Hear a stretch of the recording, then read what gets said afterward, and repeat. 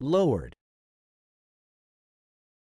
The word lowered is a verb that means to bring something down or to reduce its height, level, or position. It can be used in both literal and figurative contexts. Here are some examples to illustrate its usage. 1. Literal usage. The construction workers lowered the heavy equipment into the excavation site.